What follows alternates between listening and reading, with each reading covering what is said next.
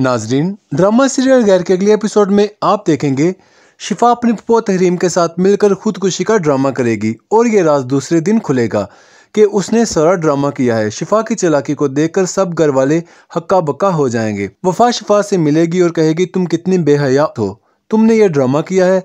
शिफा वफा को जवाब देगी, मैं सालिस को इतना प्यार करती हूँ कि खुद को नुकसान पहुँचा सकती हूँ। तो सोचो तुम्हारा क्या हाल करूँगी। दूसरी तरफ़ सालिस की माँ वफा से कहेगी मुझे लगता था शिफा ने ड्रामा किया है, क्योंकि अपनी जान लेना इतना आसान नहीं होता। यह सुनकर वफा कहेगी, अगर उसने ड्रामा भी किया है तो मुझे उसके ड्रामे ने ये एहसास दिलाया है कि वो कितनी अहम है। सालिस उसके लिए बहुत परेशान हो गया था। शिफा एक बार फिर वफा से कहेगी, मैं सालिस से बहुत मोहब्बत करती हूँ। मैं उससे इतनी मोहब्बत करती हूँ कि मेरे सारे रिश्ते एक तरफ़ और सालिस से मोहब्बत का रिश्ता एक तरफ़ है। यह सुनकर वफा शिफा से कहेगी, इतना चाहती हो सालिस को? वफा के पुपो तहरीम साहब के सामने कहेगी, वफा एक जज्बाती लड़की है।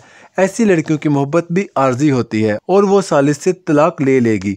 दूसरी तरफ़ फरजात भी ये सोच लेगा कि अगर वफा ने सालिस से तलाक ले ली तो वो वफा से निकाह कर लेगा। फरजात वफा के ख्यालों में खोया होगा तो उसकी माँ समझ जाएगी कि वो क्या सोच रहा है।